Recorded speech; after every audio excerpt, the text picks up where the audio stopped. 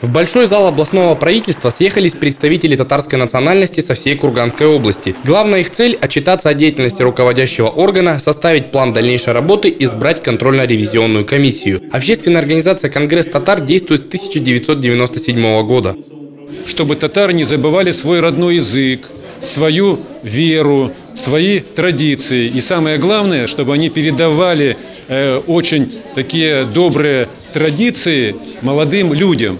И поэтому сегодня на четвертый съезд татар за Урале прибыли не только уважаемые ветераны, заслуженные работники культуры, образования, медицины, но и прибыли э, представители молодежи, которые будут находиться в зале и которые будут внимать тем проблемам, где здесь будут подниматься. Участник конференции, заместитель главы региона Нияс Юсупов вручил трем представителям татарской национальности благодарственные письма губернатора области за многолетнюю и безукоризненную деятельность и активную жизненную позицию.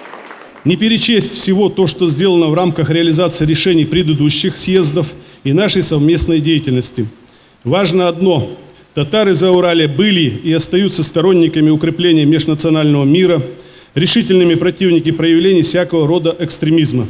На сегодняшний день в Заурале проживает 109 национальностей. Второй по численности является татарская народность. Их порядка 18 тысяч. И нельзя не оценить весомый вклад в социально-экономическое и культурное развитие нашего региона. В завершении конференции был избран новый председатель Конгресса татар, им стал Марат Юнусов. Александр Мироненко, Александр Менчиков, Александр Бутаков, информационное агентство Курган.ру.